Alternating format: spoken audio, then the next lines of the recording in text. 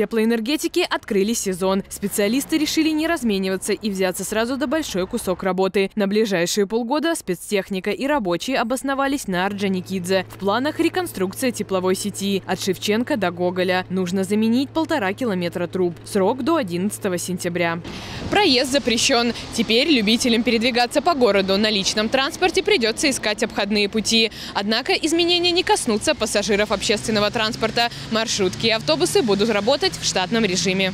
Тепловая сеть давно нуждалась в реконструкции, оборудованию уже за 40. Возраст и износ – главные причины такого пристального внимания энергетиков. Но в то же время на график отключения горячей воды в городе это никак не повлияет. Данная сеть, которая меняется, она была уложена в 1981 году, сейчас 2021, 40 лет работала.